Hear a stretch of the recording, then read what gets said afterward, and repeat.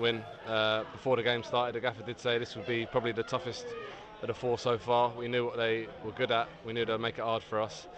But we got the second, we got the third, and then we should have done better to, to hold on to the to the three points. We, we made it hard for ourselves, but three points at the end of the day. So Now, when the penalty came, um, that put the side 2 1 up. It, it, it took some of the pressure off. Can, can you tell us what, ha- what happened? What, how did you see the situation? the penalty, Yeah. yeah. So t- took him down the line, cut back in, moved it, and as, as he as he went to tackle me, I just moved the ball and he kicked my ankle. Uh, clear penalty for me, uh, and then had every confidence that Rats was going to put it away. Is it the sort of decision some referees wouldn't have given? Yeah, there was one uh, the other day where the similar thing happened. I've moved it as he's kicked me.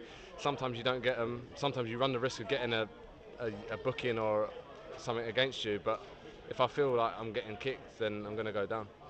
And then straight after that, Rakish put it away. It was only about six minutes or so, and uh, you got on the score sheet yourself. So talk, talk us through that goal. Yeah, happy with that one. I can't remember how it came out to me on the edge. It's al- always a bit of a blur. But took a touch, looked up, uh, saw I was edge of the box-ish, and let one go. And fortunately, it went went in. You did that in front of the, the plough end where the Fleet fans were. Did you feel any pressure from them to, to say shoot, shoot? Nah, I try to block it out. To be fair, I hear it all second half uh, when we were attacking down this end, but nah, I, I already had it in my in my mind that I was going to shoot. So And, and then it all got a little bit um, it got a little bit tricky towards the end when they pulled a goal back through Kevin Lokko to make it 3-2. Uh, but then uh, Mr. McQueen stepped up, uh, came off the bench, and did Yeah. what Mr. McQueen does. exactly that. Yeah, yeah, it was nervy for 10, 15 minutes when they got the goal. We we took our foot off the gas a little bit, uh, but does come on and done his thing again. So happy for him.